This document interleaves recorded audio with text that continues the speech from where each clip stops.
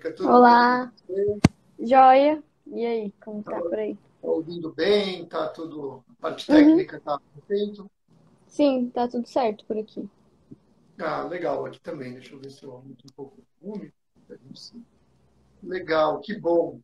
Então vamos começar. Antes de mais nada, eu, eu gostaria de agradecer por ter aceitado o convite de participar desse projeto e também agradecer ter aceitado participar da live dessa E muito obrigado por tudo. Já, seus trabalhos são super legais e trabalho. Eu estou pouco angustiado. Será que é aqui? Bom, parece que melhorou. Tá. Então, vamos. Eu estou pegando angustiado, não sei se mais alguém está ouvindo. Tá ouvindo? A gente vê. Pra mim tá com um pouco de delay, assim, a voz tá um pouco. Tá, tá chegando um pouco Agora- atrasado. É, agora tá legal. Ah, legal. Então, vamos aproveitar que estabilizou. E eu queria pedir para você, eh, Maria Angélica, começar falando um pouquinho da sua trajetória, como foi, né? Você se apresentou no vídeo lá com a gente, fa- fa- falou um pouquinho. Se você pudesse aprofundar um pouco mais, para quem também não, não chegou a você da apresentação, um pouquinho sobre como foi sua trajetória, não? se você sempre morou no mesmo lugar, se você mudou de faculdade, enfim, que você se apresentasse aí para todo mundo. Tá bom. É, eu sou de Goiás e eu não sou de Goiânia, não morei a minha vida toda aqui em Goiânia, eu vim do interior, de uma cidadezinha bem pequena, assim, que tem 6 mil habitantes. E aí eu conheci a gravura pela graduação, que foi o que eu disse no vídeo. E esse processo foi interessante, porque eu ia e voltava de Caturaí para Goiânia, nesse, no processo da graduação, então meio que isso é trabalhado também um pouco assim na minha produção. Quando eu entrei na, na graduação em artes visuais, eu não conhecia gravura, assim, de nunca ter trabalhado na escola, nem de ter tido mínimo contato, assim, com gravura. Então, quando eu tive a disciplina com a professora Adriana, que inclusive é um artista incrível também da área da gravura e de outros processos, é, eu já gostei, assim, bastante. E aí, só que foi a, eu sou da licenciatura, né, artes visuais licenciatura, então foi uma disciplina bem rápida, assim. Então eu quis, eu gostei bastante, quis me aprofundar. E aí eu peguei, na UFG a gente tem essa opção de pegar disciplinas em outras em outros cursos, né? Então eu me inscrevi como um acréscimo de disciplina em outras em outros cursos do, do bacharelado, peguei serigrafia com o pessoal do design gráfico e fui me aprofundando assim. E aí essas disciplinas que eu peguei foi com o professor Elder, que também é um artista incrível da área da gravura, e eu fui criando esses, esses vínculos assim, fui me aproximando muito. Também tem um colega da graduação, que é o Augusto, que foi uma pessoa que me sempre me ajudou assim, eu via as produções dele, e eu ficava, nossa, eu quero fazer gravura também. E aí foi isso assim, o processo da, de, de me apaixonar pela pela gravura foi, foi muito sobre as pessoas também que estavam envolvidas no processo dentro da graduação e dentro do ateliê. A gente tem um ateliê livre de gravura lá, aqui na UFG, que é da FAV, da Faculdade de Artes Visuais. E é um lugar de, de muito encontro, assim, um lugar que a gente junta professor, estudante, pessoa, é, muita gente junta ali, faz gravura e aprende uns com os outros, sem necessariamente estar tá, tá numa aula, assim. E troca muitos processos e aprendizados, é muito interessante. Acho que é isso. Legal. É, não, que, que muito legal essa questão, né? Que é, como é forte na gravura essa questão do ateliê, dessa Uhum. vivência de ateliê, de estar com, com outras pessoas. Né? Acho que dentro das artes plásticas é, um, é uma das características, é uma das linguagens que mais tem esse caráter comunitário, né? Normalmente Sim. a pintura é muito solitária, o desenho, É. a escultura. E a gravura, todo mundo se reúne em volta da prensa. Assim. É, é todo muito mundo se reúne para usar ali o mesmo instrumento e, e é muito bom. dá muito certo. Abrir uma tinta, tipo. Né? É, você vai abrir uma tinta, assim, não faz muito sentido você abrir só para você fazer, sei lá, uma série de cinco impressões. Então, se todo mundo vai lá e compartilha da mesma tinta, é muito bom, funciona bem. E é lá na ateliê de gravura é muito lindo, assim. É o lugar que eu mais me apaixonei, assim, da faculdade. Eu brincava até que era a minha segunda casa. Porque eu ficava muito lá, eu tinha, como eu morava em outra cidade, então eu tinha que ir de manhã e eu acabava voltando só à noite, porque era o, último, o único ônibus que tinha para voltar, né? Então eu ficava a tarde toda, quando eu não estava pegando disciplina de gravura, eu estava no ateliê de gravura fazendo gravura. Então eu ficava muito lá. É. E, e, e, você descobriu a gravura na, na faculdade. Mas que outra técnica que te atraiu para as artes plásticas antes de você conhecer a gravura? Ah, eu já desenhava, né?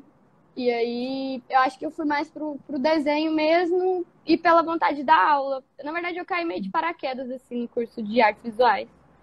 Eu pensei muito em fazer design, porque eu sempre gostei muito de tecnologia. Eu vim de um curso de tecnologia, que era sistemas de informação. E aí eu pensei, e um colega meu me falou, na verdade, Gustavo, que, ah, você desenha, tenta artes visuais, licenciatura, porque pelo menos você vai estar dando aula e talvez você goste.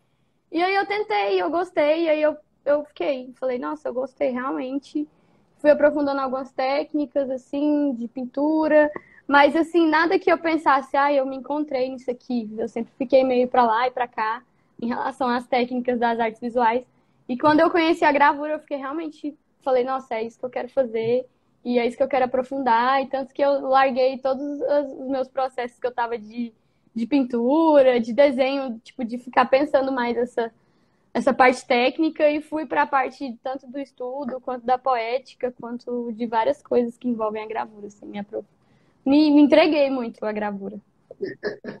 é bacana, né? Eu lembro um pouco quando a gente conversou com o Val Paixão, que ele também tinha vivências com design gráfico, com essa questão. Uhum. Eu acho que são universos que estão totalmente misturados, né? Totalmente misturados. Sim. A tipografia, né, que é muito pensada também, que é, que é uma técnica de impressão, né, de gravar também, de imprimir. Sim.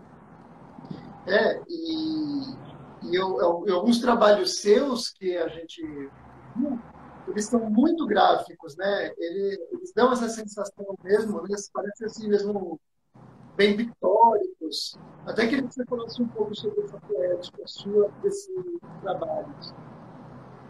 Quais em específico dos que eu apresentei na primeira semana, na segunda semana? Porque eles têm um, é, por exemplo, um o, diferente. O do banco, é, o, o do banco. Ah, do, ônibus, ah, do, do banco olho, pegando né? fogo, do olho. Do azul. É, assim, eu, eu gosto muito de trabalhar essa questão de usar as cores. Porque quando eu entrei na ateliê de gravura, era mais assim, eu lembro que o meu professor, ele falava assim, vocês têm que fazer a impressão em preto, que é para eu avaliar em preto. Que é em preto, é, tem essa coisa na gravura tradicional, né? Tipo, que é o preto que eu vou conseguir ver o que, o que eu preciso avaliar. E ele é muito metódico, assim, muito certinho. E aí eu falava, mas eu não gosto de imprimir em preto, sabe? Ficava assim, é, é uma coisa muito específica da gravura, mas sempre a cor me atraiu, assim.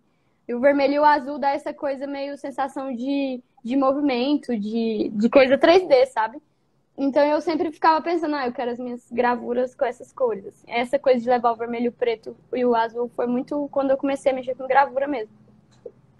E aí, essa questão de ficar colocando sobreposições também, né? Que, que não vem muito da gravura tradicional, essa coisa de você ficar, tipo, sobrepondo e deixando o meio deslocado, assim. Vem muito dessa vontade de, de trabalhar várias cores, né? Com mais de uma matriz e de dar essa sensação de movimento, que é uma das, das poéticas que eu trabalho, que inclusive eu trabalho em uma gravura do ônibus, que eu não sei se ela foi, acho que foi na segunda semana, que são bancos de ônibus, assim, que, que eu falo que ela é o eterno movimento, é. E aí eu falo sobre uh, uh, os processos que eu tive de estar em eterno movimento, de aprendizado, de ida e vinda, de uma cidade para outra, que foi esses lugares que eu me encontrei.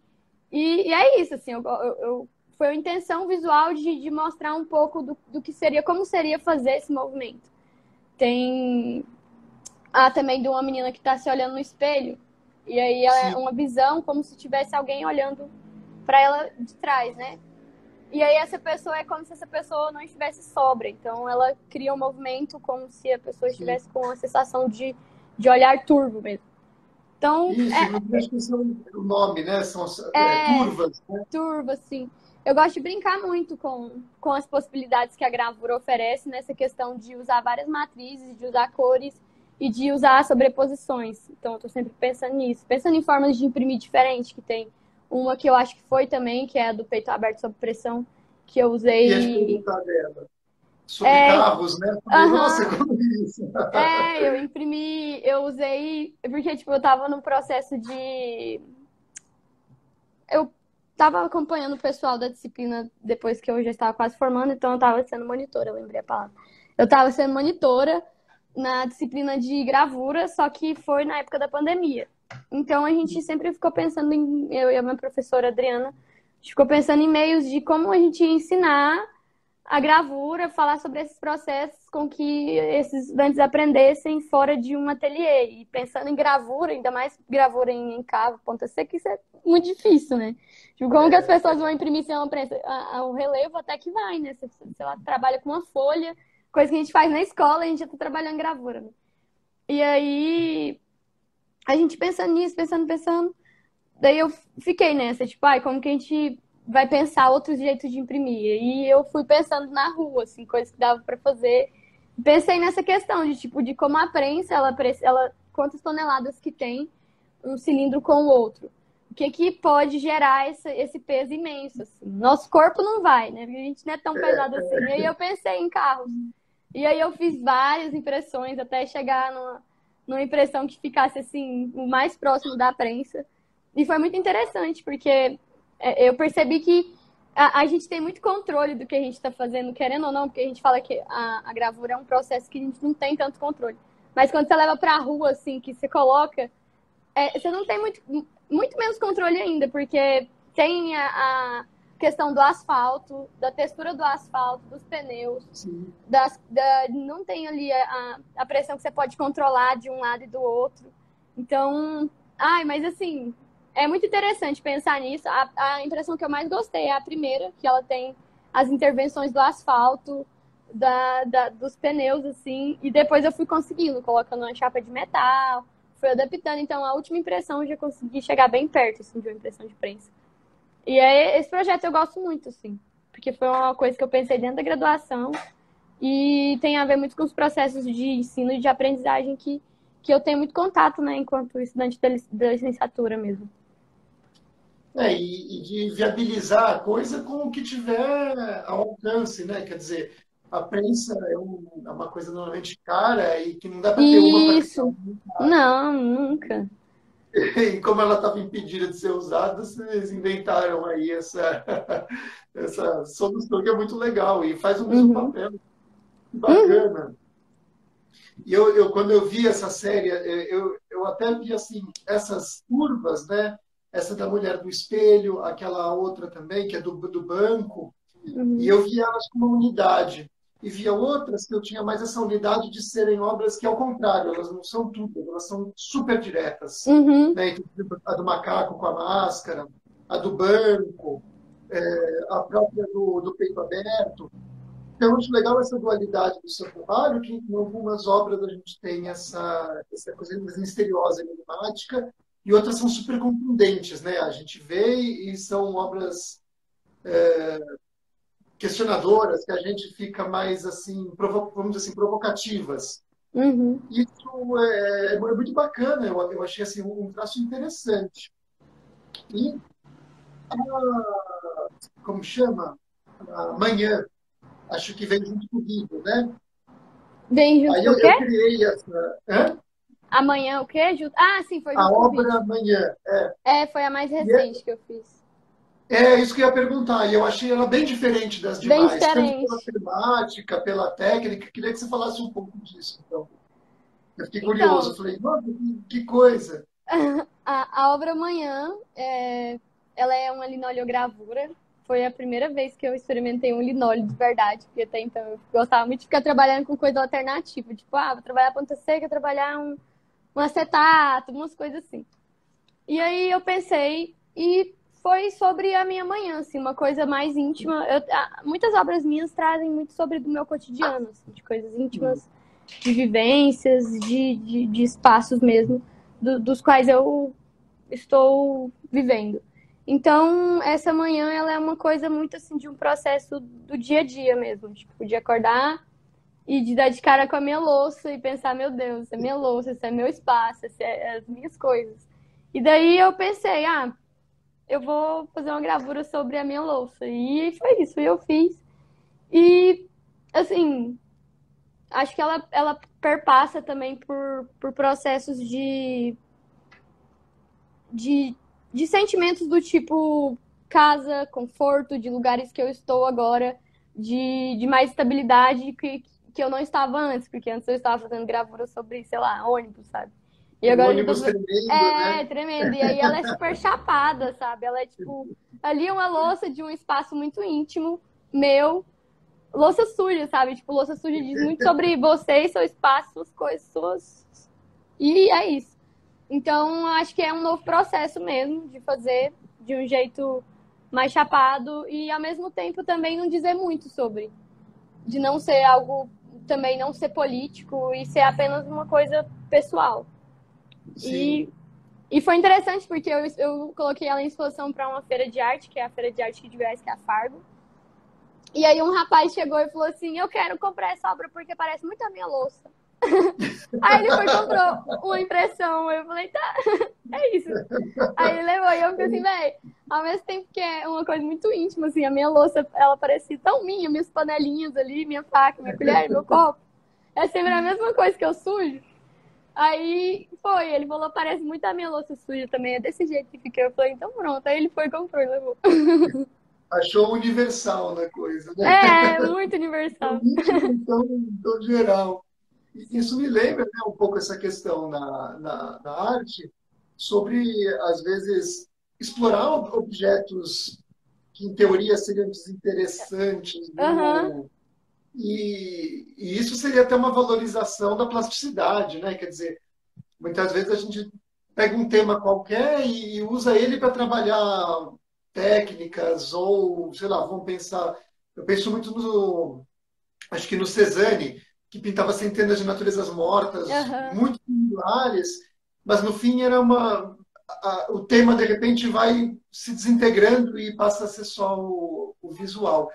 E você comentou que também foi uma experiência pelo material e que você costuma trabalhar com materiais alternativos. Você pode falar um pouco desses materiais? Eu vi que você trabalha em plástico. Fiquei curioso também. É, é porque assim, lá na, na FAV, né, a gente tem essa coisa. A gente, eu aprendi isso, na verdade, com os meus professores e professoras. Que é a gente sempre trabalhar com materiais alternativos, porque, tipo, ah, estudante não tem dinheiro, né? Então, ainda mais na Faculdade de Artes Visuais, na universidade pública, então sempre foi levado para a gente, olha, vamos trabalhar com isso aqui, vocês podem trabalhar com isso aqui. Então, inclusive aquela obra minha do ônibus, essa impressão, que é a, impressão que eu mais gosto, ela foi feita num capa de aquelas pastinhas que a gente compra para pôr papel, que elas têm até uns riscadinhos assim. Eu usei Sim. a parte lisa e aí, tipo, foi uma das primeiras gravuras que eu fiz em ponta seca. E aí eu usei, aí dá, dá, até pra ver, assim, um pouco os skins. Então foi muito disso, assim, coisas que nossos professores. É, foi passando de um meio alternativo. E também tem a questão de, de usar a borracha. Essa é bem famoso, né? De usar a borracha escolar fazer carimbinhos. E, e aí eu lembro que quando o meu professor, o Helder, me apresentou uma, uma aparador de cutícula. É uma goivinha que é tipo um aparador de cutícula. E aí ela é incrível, ela dá um, uma, assim, quase o mesmo resultado de uma goiva profissional daquelas caríssimas que tem a ponta bem fininha. Então, aí eu pensei em continuar, sabe? Eu achei muito interessante quando eu entrei, tive professores falando, ah, a gente vai usar isso aqui, por exemplo, para água tinta. A gente não usou, até hoje eu não fiz nenhuma água tinta com cobre mesmo. A gente faz com ou latão, a gente faz com ferro mesmo. E aí, tipo, é extremamente desgastante. Eu tava falando pra minha amiga esses dias, tipo, como a gente sofreu pra fazer água tinta em ferro, assim, pra fazer ponta Nossa. seca. É, a gente trabalhava com ferro. E eu lembro do meu professor falar assim, ah, mas ficou muito bom, se você fez isso em ferro, imagina quando você trabalhar com um material profissional. Cobre, você É, e aí, até hoje eu não fiz, eu fico assim, velho, é isso, assim. Aí eu vou me apegando muito a esses processos para tipo, de pensar como isso é, dar alternativas mesmo para o ensino da gravura, porque os materiais são de fato muito caros, assim. Sim. E aí a gente já entra na faculdade com esses professores incríveis, assim, que, que já mostram pra gente essas alternativas. E não como meio de, tipo, ah, tô excluindo você de aprender, de aprender de outros jeitos, assim. Mas, tipo, só falando, vocês podem fazer dessa forma e dar muito certo. E conseguir resultados incríveis também. Por esses materiais, assim, que a gente fala como alternativos. E eu Sim. comecei a fazer diversos projetos, assim, de levar, enquanto estudante da licenciatura, de pensar, de levar muito essa questão da gravura em relevo com essa borracha e com essa goiva. Porque, tipo, ah, essa goiva, ela custa 3, 4 reais. E ela realmente dá um resultado muito bom. Minha gata aqui na janela, desce. Aí, o que acontece? Eu comecei a fazer vários projetos, oficinas da pandemia. Eu dei uma oficina online com um projeto da minha amiga e da minha ex-orientadora, que é o Redário. E aí a gente falava sobre chegar com os calouros na universidade, na faculdade, e falar de coisas que acontecem na faculdade para aquelas pessoas que estavam ali na pandemia em casa, né?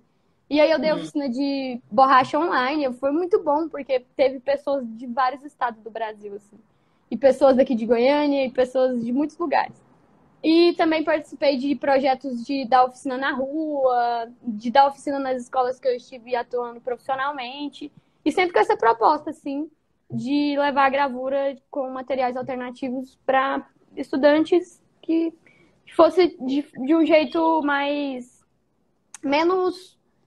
É, caro mesmo, assim, mais acessível. Essa palavra, mais acessível. É, essa é uma questão, a gente até veio muito isso na técnica, né? Por exemplo, normalmente nos, uh, nos países mais pobres, vamos dizer assim, a técnica mais comum é, é, é abrir relevo, é estilo, borracha. Sim, porque, porque é o mais fácil de ter e, materiais. Quando vai elitizando, vai indo para metal, para litro, e, é uma realidade muito, muito chata, porque às vezes a pessoa quer experimentar alguma técnica e, pensa assim, nunca vou conseguir fazer uhum. uma seca porque é caro. E é muito importante ter essa é, difusão da gravura, né? Para a pessoa experimentar, se apaixonar e até mesmo estudar, porque também a gente entende o material é caro e não vale a pena, um estudo, coisa assim, pegar o material de ponta, né? Para a gente uhum. é saudável, é inviável. Uhum. Isso acontece muito com papel, né? A gente às vezes tem os papéis e fica assim, nossa, esse papel eu tô guardando, né? Tô guardando ele para fazer tal coisa. Foi assim que eu fiquei um tempo com a matriz de linóleo, essa que eu fiz da manhã. Eu fiquei guardando ela um tempo porque eu disse, nossa, esse aqui é linóleo, né? O que que eu vou fazer? Aí de repente eu falei, ah, vou fazer a minha panela.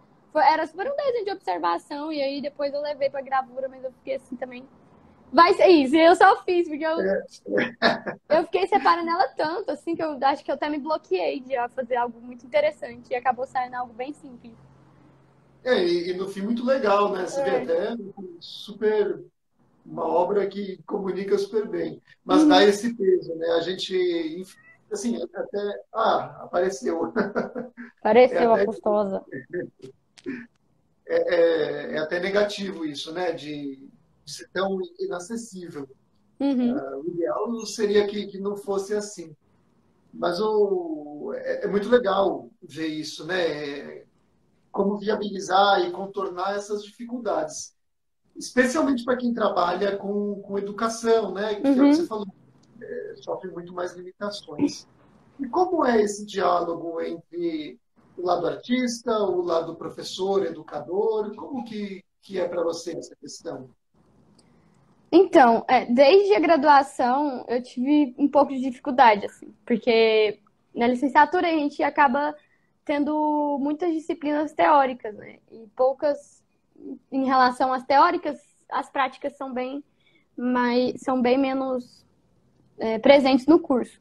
Então, era uma coisa assim que eu ficava, nossa, eu gosto muito da teoria da licenciatura, eu escolhi licenciatura, mas ao mesmo tempo eu quero a prática. Então, eu ficava muito ali fazendo iniciação científica e indo para ateliê e tentando trabalhar as duas coisas. Eu lembro que a minha orientadora ficava falando: você é, sai desse ateliê e você vai me abandonar para esse ateliê? E ficava brincando com o meu professor de gravura.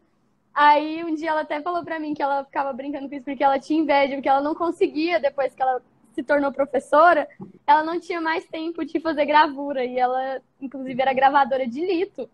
Ela está me devendo até hoje uma, uma impressão de lito. E aí, é, era ela falando sobre isso, né? Eu ficava, meu Deus, será que esse é meu futuro? meu preocupado, assim. Mas eu acho que, apesar dos pesares, eu consegui trabalhar, porque são duas coisas que eu gosto, assim. Eu, não, eu, eu acho que às vezes eu me vejo mais como essa parte de, de professora, arte educadora, do que como artista de fato, porque acho que as minhas produções, elas estão sempre muito poucas em relação às questões que eu estou pensando de pesquisa educativa, assim. E não é algo que me incomoda, mas eu, eu gosto de estar nesses dois lugares. Acho que é muito bem trabalhado. Lá na faculdade, as pessoas não achavam que eu era do, do da licenciatura, elas achavam que eu era do bacharelado, porque eu estava sempre tendo muito contato com, com as práticas, assim, da gravura e de até de outros ateliês também. Mas eu acho que, que funciona e que é muito interessante, na verdade, estar no, nesses dois lugares, porque eu acho que é, é de extrema importância, mesmo que um artista não seja de fato da área de licenciatura que pense os processos educativos também, né? Acho que todas as profissões a gente tem que ter esse olhar. E como eu estou nesse lugar e eu gosto de estar nele, é, eu acho que funciona para mim. Eu gosto e estou indo, assim, estou tentando é, fazer as duas coisas. Ah, que bacana. Muitas vezes as pessoas acabam falando assim, ah, eu queria ser artista plástico, mas tenho que dar aula, né? Assim, puxa, é. tenho que dar aula. E aí, às vezes, é ruim porque a pessoa acaba é, dando aula como uma obrigação e não tendo uma tanta paixão por aquilo, né? Assim, não tem gosto. E às vezes isso até prejudica o processo de aprendizagem. Mas eu vejo uhum. que seu caso, até por ter procurado a licenciatura desde o começo, isso foi diferente, né? É, para mim foi bem diferente, na verdade, porque eu pensava a questão da educação, de, de querer muito dar aula, não sabia de que ainda, mas. E aí veio o processo de ser artista depois, assim. E ainda acho que é um processo que eu ainda tô me descobrindo enquanto gravadora, artista, e, mas sempre veio, não veio tipo, ah, sobre, tem muita gente que entra no curso já do tipo, ah, eu quero ser artista, ou já se encontra enquanto artista. E depois vai pensando, às vezes entra na licenciatura, não gosta, acaba saindo porque se, tipo, se frustra muito nesse processo. Então eu já entrei muito com essa cabeça mesmo de querer estar nesse espaço de educação.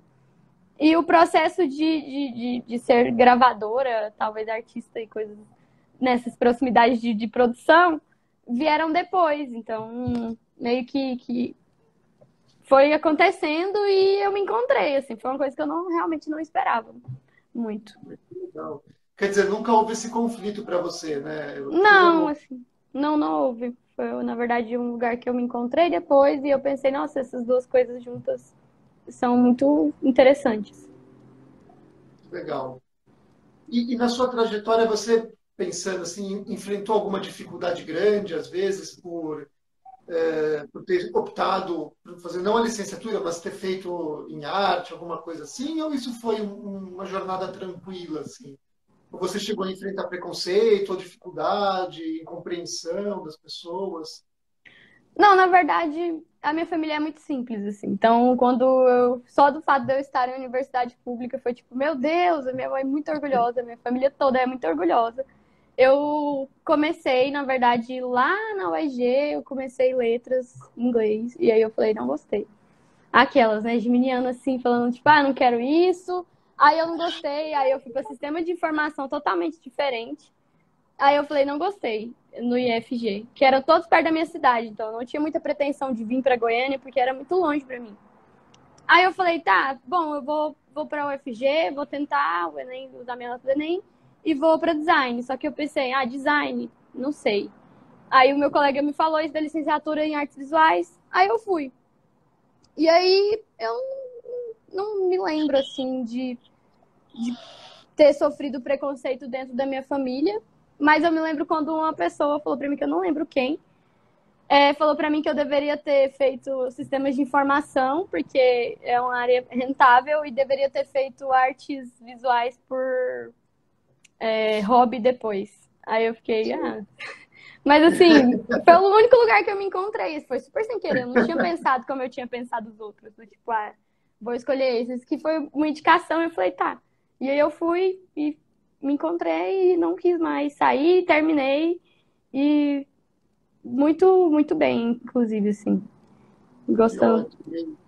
E sorte nossa que tem os seus trabalhos aí para apreciar. Uhum. E pode contar aí com o seu trabalho também na Dual, que com certeza também é, é incrível. Poxa, muito legal, então, conhecer melhor a sua trajetória e que é muito bacana e muito inspiradora, né? Assim, poxa, achei super bacana. É, não sei se você quer colocar mais alguma coisa que você queira falar, o espaço é seu, fica à vontade. É, eu quero falar de uma coisa que eu esqueci sobre a minha trajetória. É que agora eu faço parte de uma, um espaço cultural, que é o Muquif Cultural aqui em Goiânia. Então, pessoas de Goiânia que talvez estejam assistindo. É, fica ali no centro, do lado dos Elatinhas. Eu tô até com a camisa aqui do Muquif lindíssima. E é isso, eu tenho um ateliê lá agora, junto com os meus amigos barra parceiros de gravura e de processos de imagem, que é o Renan, um artista incrível da fotografia, que também faz gravura. O Augusto, que ele é incrível, muito incrível mesmo, que foi uma das pessoas que eu mais aprendi gravura e que me inspira muito. E estamos lá. Também tem o Cláudio, que é o cara da foto, da cianotipia e dos processos de imagem e fotografia também. Estamos ali no centro com o nosso ateliê Fotograve e o Mukifo ele existe e resiste com muitos outros ateliês de pintura, estúdio de tatuagem, loja de vinil e galeria e espaço cultural no geral. Então é isso. Também faço parte do Ateliê Livre de Gravura, que é o que eu tinha falado com o professor Zé César, Adriana, o Helder e um monte de gente incrível. E também vou participar de uma exposição dia 2, agora se não me engano, no CCUFG, ali no Universitário, sobre mulheres gravadoras. E vai ter, ah. tipo, o acervo de mulheres gravadoras que já tinham dado a vanguarda da gravura aqui em Goiânia de mulheres. E com as novas gerações, eu e um monte de mulher incrível. E é isso, convidar vocês e falar sobre esses lugares que eu estou por aí. Ah, que legal. Parabéns pelas exposições e pelos trabalhos. E que bacana, você comentou um pouco agora de, de, dos fotógrafos. E eu vi você, você já fotografou, já explorou essa linguagem ou, ou nunca teve essa. Então, eu já gostei muito de trabalhar com fotografia de um jeito é, mais amador, assim pensando o uso do celular, que foi uma das minhas pesquisas da época da iniciação científica, de trabalhar esses dispositivos alternativos em sala de aula para pensar a imagem, tananã. E aí eu me aventurava na fotografia com o celular, assim. Eu tive a disciplina de fotografia, mas não, não foi algo que me pegou, assim, para pensar, nossa, eu realmente criei coisas a partir disso, mas era muito mais de experimentação. E agora que eu estou com meus amigos incríveis da fotografia, a gente tá trocando figurinhas. Porque o Renan, ele já fez gravura e ele fica, é tipo, ai, como é que põe a Goive? Eu, tipo, Renan, você sabe como que põe a Goive? Não, mas você que é a pessoa aqui para me ensinar gravura. E eu fiquei assim, pois é, agora se eu vou mexer uma câmera aqui, eu quero que você me fale cada coisa. E a gente fica trocando figurinha, e isso é muito bom. E até a cianotipia, né, que o Claudio faz, que é tipo um processo incrível. Ele misturava as fotografias com ponta seca e cianotipia e fica incrível. Assim. Tá é, isso, a gente tá experimentando juntos. É, é, são bem juntinhos. Tudo, tudo do mundo da, das, dos múltiplos e da gráfica. Sim, da gráfica, as impressões. E o pessoal aqui comentou bastante, falou muito elogio, que você é uma pessoa inspiradora, e eu concordo com eles, achei sua trajetória super inspiradora, super legal.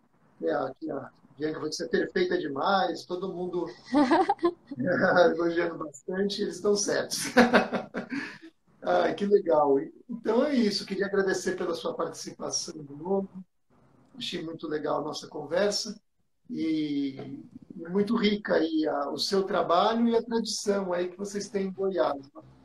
São riquíssimos em gravura que eu pelo menos conhecia há pouco e adorei ter participado para conhecer melhor a riqueza que vocês têm aí no mundo da arte. Essa exposição deve ser imperdível das mulheres artistas, com certeza. Vai ser linda, eu estou muito ansiosa. E ah. obrigada às meninas que estão falando aqui. Bianca também faz parte do Muquifo e ela é incrível, uma artista incrível da pintura. Eu sou muito fã. A Cássia também faz gravura, é incrível, é minha irmã.